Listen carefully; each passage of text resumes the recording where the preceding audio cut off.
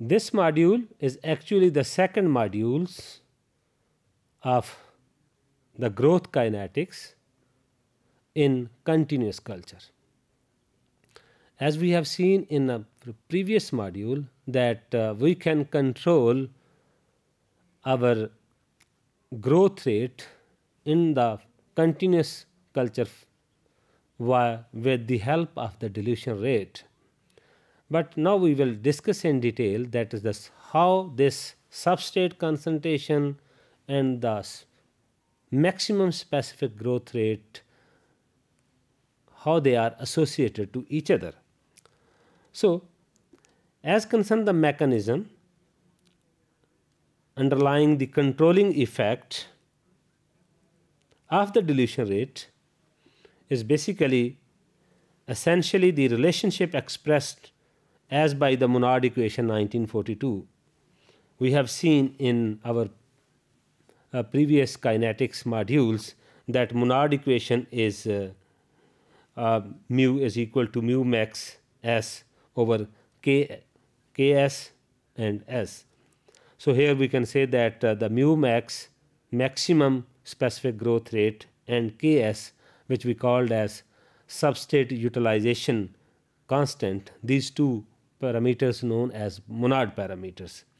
So in a continuous culture when we say that mu is equal to d mean our specific growth rate when we come to the dilution rate so as well as there is a dilution and then there is a growth and there is no more change in the cell mass concentration in fermentation vessel then we can transform this equation just by the change of mu with d so we can say here that d is equal to mu max s bar over ks plus s bar. Just a minor difference in a previous equation to this equation is that what is the difference between S and S bar? So S bar is the substrate concentration when the culture in steady state. So simple S is only the substrate concentration which we called as residual substrate concentration which we are so here we can say that S is the substrate concentration at steady state. So by this equation, if we can easily calculate, if we know the dilution rate, then we can easily calculate the amount of this uh, substrate at the time of steady state by just transforming this equation uh, into this. So this equation can easily be so S bar is equal to Ks d, d is a dilution over mu max minus dilution. So this whole equation is basically just the retransformation of this equation we can use easily. So when we say in this equation, so this equation can predict that the substrate, substrate concentration is determined by the dilution rate. So in fact, so when there is a dilution, that can actually predict the substrate concentration inside the fermentation vessel. So we can say that that in fact this occur only when the growth of the cells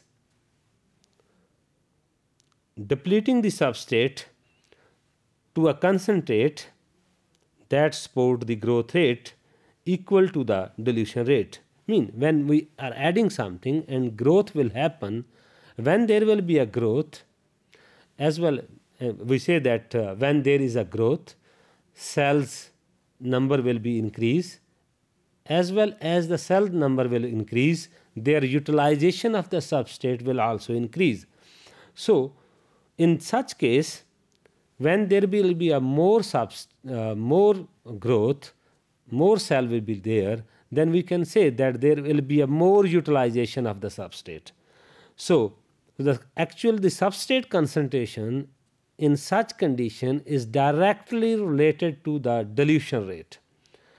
So, if we can say that uh, the substrate concentration inside the continuous culture is directly related to the dilution rate, so we can assume four possibilities uh, that uh, if there is a change either in a specific growth rate into the fermentation vessel or there is a change in the dilution rate, what will the possible happening inside the fermentation vessels? So, these are the four different uh, possibilities which we will discuss here that just we can see here that if the growth rate of the cells will be less than the dilution rate mean mu if the mu is less than d then what will happen? So then they will washed out of the vessel mean when there is a less growth rate and dilution is more than mu then what happen we are har- harvesting the medium with the same rate what happen there will be a gradual washing of the cells and the total number of concentration inside the fermentation vessel will remain less than the initial one. So, by this case that the biomass concentration inside the vessel will be decreased.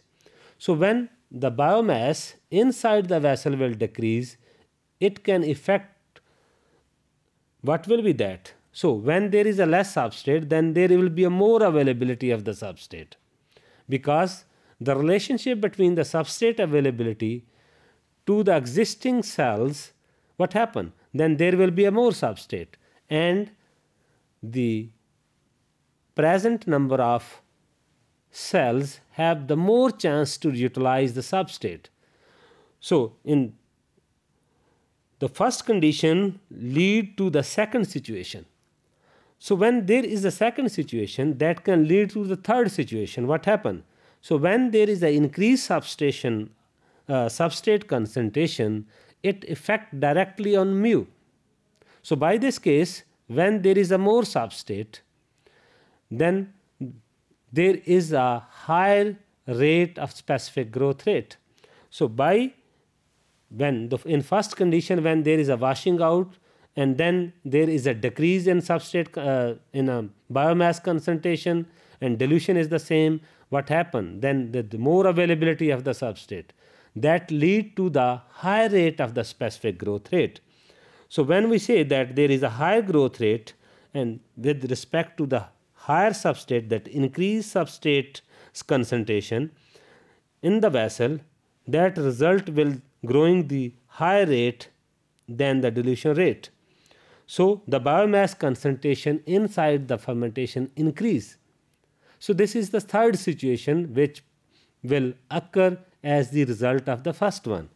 So in such case, in a fourth situation, we can say that the steady state will be re-established. So these are the four possibilities can happen when there is a change in the steady state or actually what happened then it is all the time that in a continuous culture that the re-establishment of the steady state will happen so thus the chemostat is the nutrient limited self balancing self balancing culture system which may be maintained in a steady state over a wide range of sub maximum specific growth rate. So, we can say that the concentration of the cell in the chemostat, which we have already seen this by the, such kind of the equation in a batch culture, that x is equal to the y which is yield coefficient and that is directly related to the initial substrate concentration and as well as the residual substrate concentration. So just by changing this uh, that x into x bar. So x is the biomass con concentration uh, in the fermentation vessel, but x bar is the substrate concentration when there is a steady state. So in this equation, as I already told, when this steady state uh, biomass concentration can easily be calculated by this.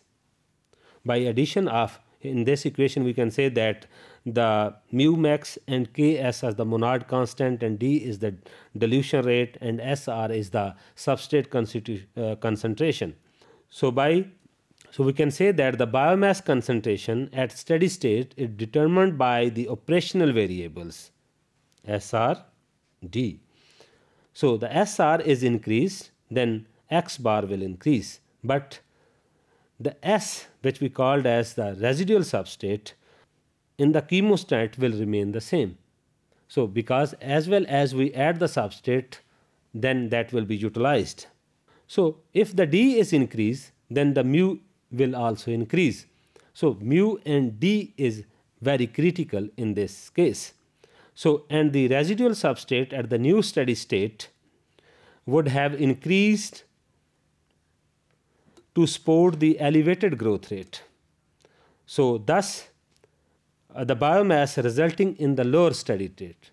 So in this case when there is a re-establishment of the steady state then that is totally dependent upon the dilution rate which can be controlled uh, through the mechanical parameters in continuous culture.